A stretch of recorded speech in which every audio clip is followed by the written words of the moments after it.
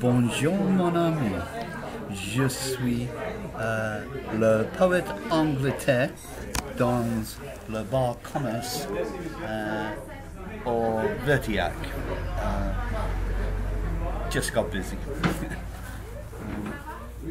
I'm about to recite my latest poem, uh, done in the early hours of this morning.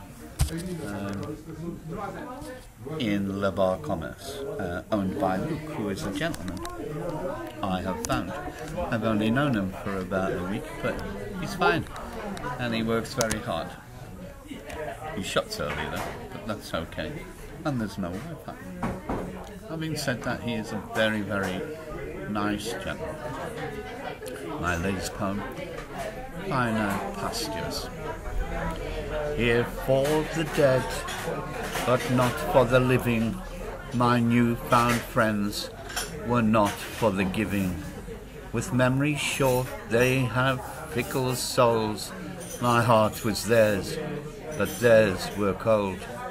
Pretentiously shallow, their callous hearts pierced mine with poisoned darts. With humbling gratitude, I thanked them all for saving me when they were called. They failed to see what I'd endured, my fight for life that saw me cured.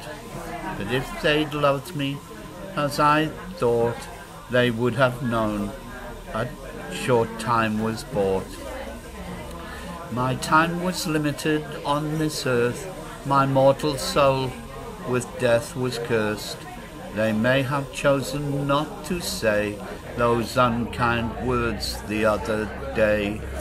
My heart in faltering convalesce, seeking nothing more than happiness. But there are those who think I'm wrong to savour every second gone. So with me late they trivialize the words I spoke, my tearful eyes. They wrongly thought I would return to their vitriol that saw me spurned.